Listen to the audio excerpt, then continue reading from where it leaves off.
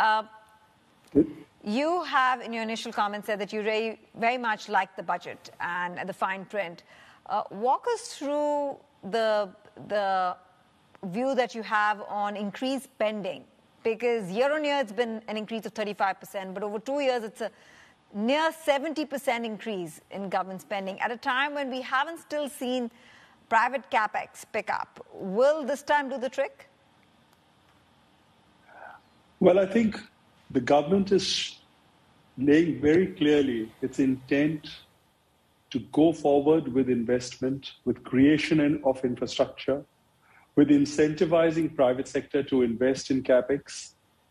And I think this is going to lay the foundation for a very robust growth in the economy, which is going to be led by capital investment. COVID impacted us as it did every other economy. And private sector did not invest as much as they've invested in the past or as much as we would invest in the future. And I think this budget lays the foundation for a very strong growth based on capital investment, based on simplification of business, ease of doing business, and transparency.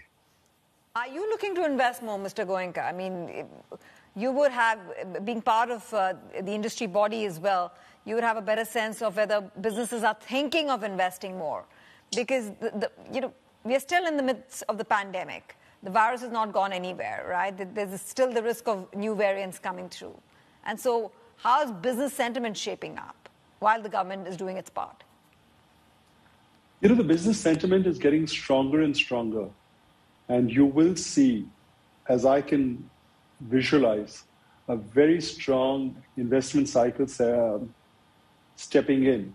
And over the next six to 12 months, you will see lots of capital investment plans being announced because I can see a lot of planning happening on the ground.